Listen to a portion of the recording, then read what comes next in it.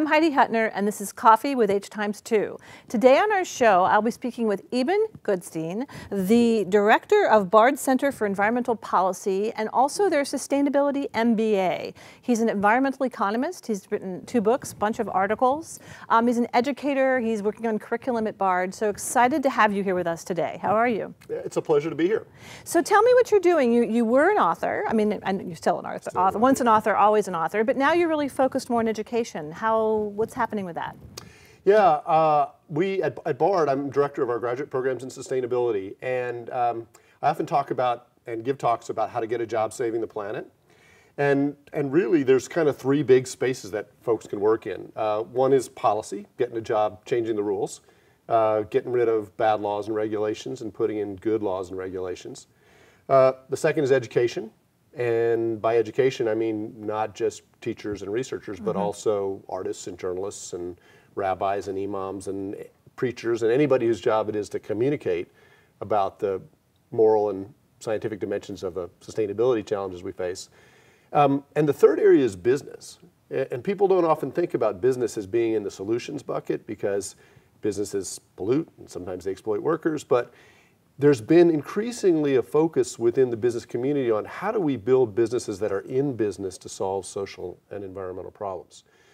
So at Bard, we have graduate programs in all three of those spaces. Mm-hmm. We offer um, MS degrees in environmental policy and climate science and policy, uh, a new MED in environmental education, and then an MBA in sustainability. Uh, and, and our graduate program, every, every business program around the world now that has any aspiration to credibility has got a course or two in CSR, renewable energy, or something. But, but our program is really one of a handful around the world that fully integrates sustainability into a core business curriculum and really says, you know, we teach economics and marketing and accounting, but every course is, is wrapped around this idea of how do I build a business that's in business to solve social and environmental problems. That makes sense. So very practical, very solutions based. How to get to it. Yep. Create your business and make it work. Mm -hmm. So tell let's let's backtrack a little bit. Yep. You were a geologist first. Yeah. Uh, so I tried my, my actually my parents my, my dad was an economics professor and my mother was a history professor and I tried really hard not to become a college professor. Um, and so I majored in geology in college and worked as a geologist for a couple years. But eventually my genes caught up with me and I ended up getting a econ PhD. Why econ? Um, well, I was very interested in science uh, and really loved the, the science uh, of geology. But at the end of the day, I was more interested in changing the world. Uh, and, you know, scientists do that very slowly at a geologic pace sometimes. Right. Um, uh, and I was much more interested in how do we actually you know, get out there and get our hands dirty in terms of solutions. Um, so how do economists do that? Well, uh, two ways really. I mean, economics is is a I, I'm I've, I've you know I've, I've, sort of gravitated to be more of a generalist environmental uh, educator and a little bit away from economics, in part because um, I think that a little economics is extremely useful, mm-hmm. extremely useful mm-hmm. because there's a set of toolkits to understand how markets work, how businesses work. Um, but actually, a lot of economics is kind of useless. Um, and so I was more interested in how do we take kind of those basic toolkits, uh, but not just in economics, in leadership and uh, science, uh, politics. How do we bring all those together to help uh, to build really gr graduate curricula that can create people who can go, you know, change the future? Because you know, we're living at a truly extraordinary moment in the history of the human project. Right? We are. We, I mean, uh, 10,000 years of history have kind of crashed in the next three decades.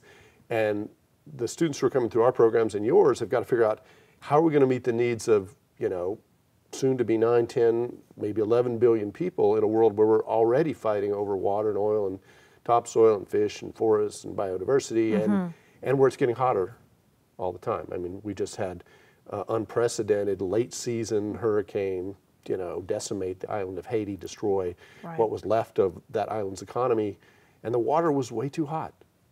Uh, right. And that's what we're dialing up, right? You know, we've had an increase in uh, the intensity of hurricanes across the world because the planet's getting warmer. And we've got to figure out, you know, how are we going to bend these curves? How are we going to create a world that is a livable a place for our kids and grandkids. And how do you think we can do that? Well, uh, really the three ways I just talked about. I mean, in some ways, I mean, you know, we've got to get to work changing the rules. Um, and we So have s- policy. policy work is important. And if we look at what happened in Paris last December, I mean, you know, finally, the all of the nations of the earth came together and collectively committed to changing the direction that we're on, the path that we're on. Uh, you know, it's not good enough, but if we go back in 2020 with some deeper cuts and commitments, the Germans just this week uh, announced that uh, there will be no more internal combustion engines in Germany after 2030. Extraordinary. Extraordinary. And we're already seeing, you know, with Tesla and GM's Bolt, I mean, we're seeing the industry respond to this future already, and they're developing the electric vehicle technology that's going to replace the internal combustion engine. And so you have to have this combination of folks in the business community who get this and who are trying to build different models. Um, but, but you also need to have the policy push to sort of create the pathway for, for businesses to innovate and create that new future. And science, right? Engineers. Of course, of course. yeah, Chemists. Yeah, yeah. And I, I put that kind of in, in, in the business in- in bucket the because business it's bucket. collectively about how do we, how But they have to work solutions. with the scientists to be pushing them in that Yeah. direction. But on the other hand, you know, some of those folks are, you know, are, are supported by policy work. So NSF and R&D funding, all that stuff has to come Right. out of the policy context to make this future a reality. And do you think enough of that is happening? Yeah. Never, Um, never enough. I mean, no, I mean, my, you know, Hunter Lovins, who is one of my heroes in this space and who actually teaches in our MBA program in New York City, says that we're in a race to stop global warming. Right. Uh, and that's the good news.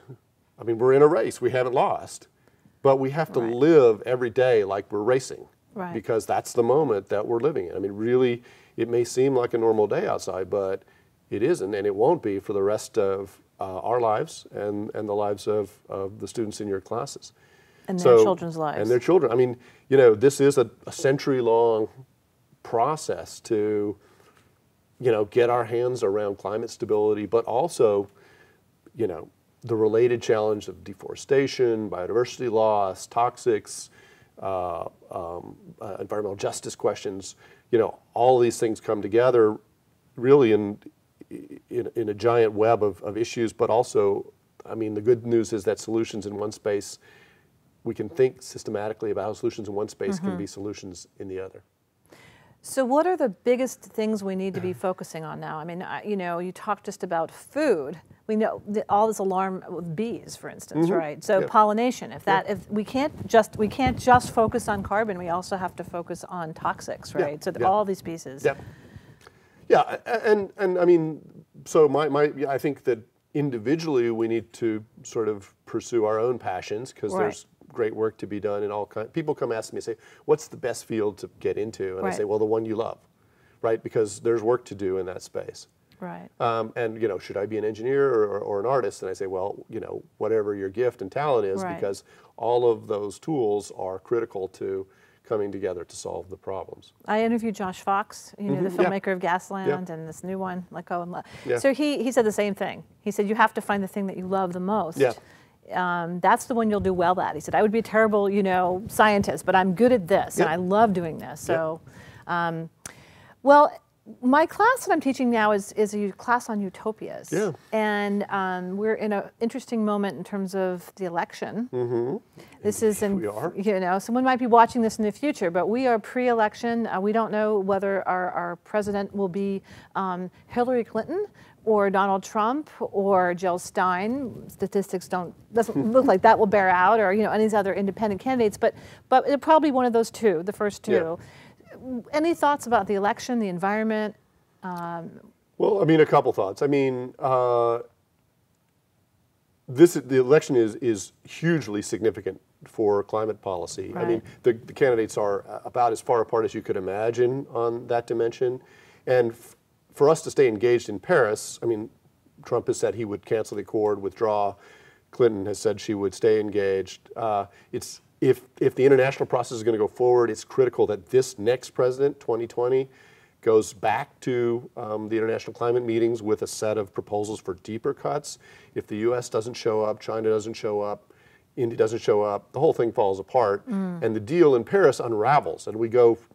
Paris was really amazing because it, it took us from what three years ago was an eight degree Fahrenheit future of this century, eight degrees Fahrenheit. Now, put that number in perspective during the last ice age, you know, when much of New York State was covered by thousands of feet of ice, the world was only nine degrees Fahrenheit colder than it is right now. So up until two or three years ago, you know, the students in your class were, were really facing an swinging global temperatures of ice age magnitude only in the opposite direction. Now Paris gets that down to six, which isn't good enough. Uh, and so we have to go back with another set of proposals to get us down to four.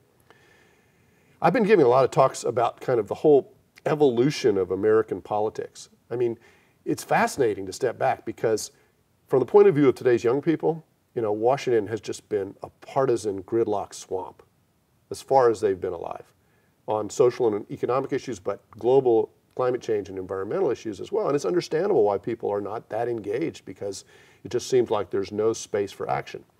You know, Republicans say worried about governmental overreach, you know, uh, many of them denying that climate change even exists. Democrats really worried about it, ready for activist government policy, and there just seems to be no space for, for dialogue. But that's not American history.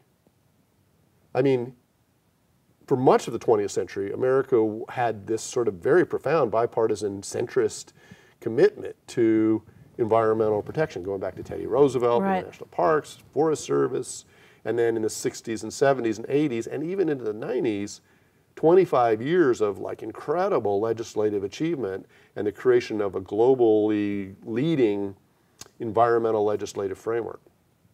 And that included Republican Presidents Richard Nixon, Republican President Ronald Reagan, Republican President George H.W. Bush, mm-hmm. uh, who the very last thing that he did was sign the International UN Framework Convention on Climate Change, the first international treaty on global warming ratified by the Senate that actually enabled the Paris talks last December. So for 25 years, but the last 25 years, nothing. Nothing. So what, what caused that shift? Right, what caused what, it? What caused it? It's a complicated story, um, but it's basically, if you step back, it, it's, it's really, well, I'm gonna see if I can do this quickly, okay?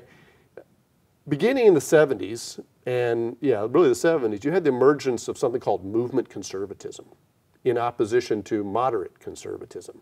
Hmm. Um, it actually was very consciously created. Um, a bunch of uh, conservative intellectuals were worried about liberal ascendancy in the 60s, so they, they, they funded uh, sort of think tanks and other media organizations mm-hmm. to create sort of what is a conservative.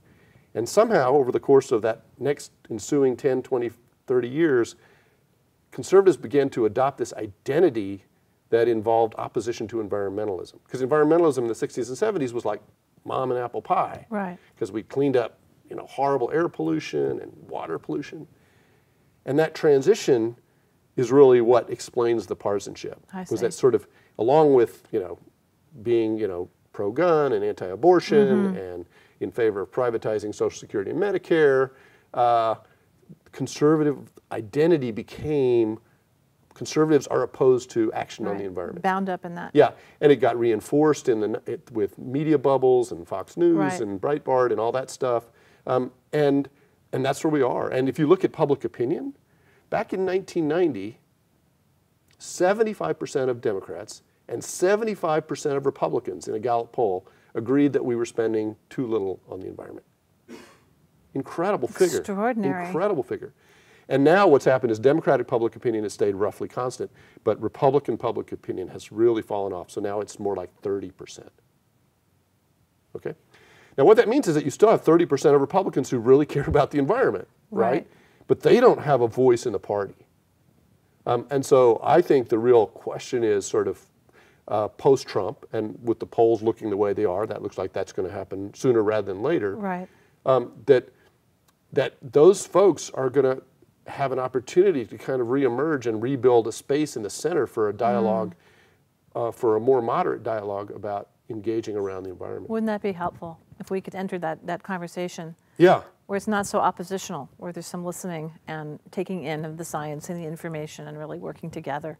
Yeah, and I think that's going to happen. I mean, because I think that, that those, those folks exist, and I think the structures that have created the polarization right are have, now are kind of disassembling well, right now. They could. They, they, they certainly could, could uh, you know, uh, in the coming couple of years. It's interesting, interesting moment. Well, it is an interesting and, moment. and an opportunity. Yep. yep. So we have to end. Yeah. Um, I, I could t- listen to you for hours and talk to you for hours. I'm sure you have much more to share. Yeah. Um, I, I love that you're coming from these multi backgrounds and now you're doing mo- much more education. Yeah. Um, so uh, I thank you so much for coming on. And um, so this is we've, I've been speaking with Eban Goodstein from Bard College. Uh, he runs their environmental sustainability programs there, um, an environmental economist. So thank you for watching. You can see more of our episodes on HeidiHutner.com. Take care.